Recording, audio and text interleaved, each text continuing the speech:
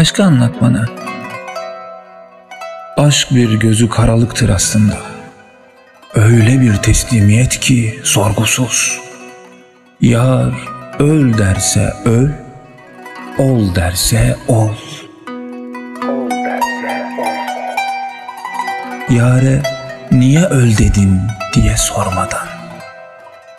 Bu derin bir mevzu, kalbinle dinle, kulağınla değil.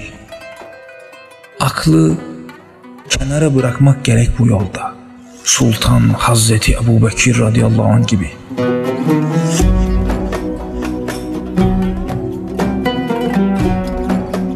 İnsan gül ister dikensiz. Bu da aşık olmadığını gösterir ya da daha yeni olduğunu.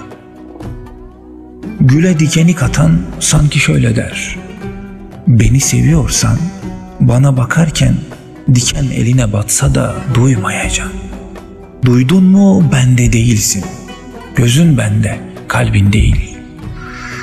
Bu sözler senin için daha önce hiç söylemedim. Söyletmedi şeyhim.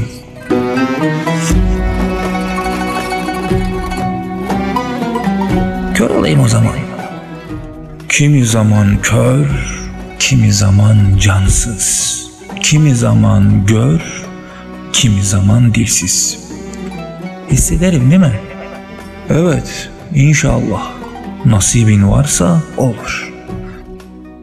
İnsan gök için yaratıldı. Uçacak. Ama kul var bunu bilir, kul var bilmez. Kul var uçacak kanadını keser. Ona gök haram olur. Kimisi var tövbe eder, kanadın tamiri mümkün olur. Kimi çok dibe batmıştır, tamir de olmaz. Onun için çok keskin konuşmaktan kaçınmalı. Bu bir sohbettir. Hem sana hem bana. Bir kenara not etmek gerek. Çünkü kelimeler elmastan daha değerli. Fatiha.